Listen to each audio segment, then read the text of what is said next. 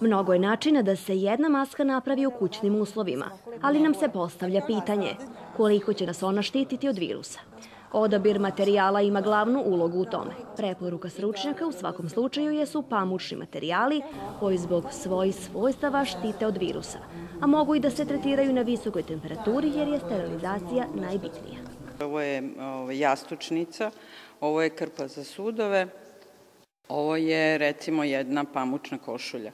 Treba napomenuti samo da pri šivenju je preporučljivo da maske budu dvoslojne i da kada se polaže, kada se kroji materijal, da se obrne. Znači, jedan sloj horizontalan, jedan hor, sloj vertikalan. I ukoliko nemate mašinu za šivenje, igla, konac i dobre volje biće dovoljni da se jedna maska napravi.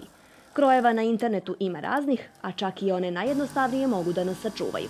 Ručno možete neki gušći ručni bod da napravite ove kanale u koju možete da uvučete razne trake. Ovde evo uvukli smo jednu ovaj, pertlu za cipele. Procesom nabiranja ili ako želite naravno možete da ovaj, procesom faltanja dobit ćete ovaj deo koji treba da prijanja, da bude uz lice. U nedostatku maski za sve, od početka vanrednog stanja, tehnička škola Mileva Marić-Einstein odlučila je da prilagodi nastavne programe, stoga ih učenici pojedinih smerova šiju u kućnim uslovima. Sve maske koje su sašivene i koje se šiju i, i dan danas se poklanjaju, da li dragim osobama, da li volonterima, prodavačicama i tako dalje.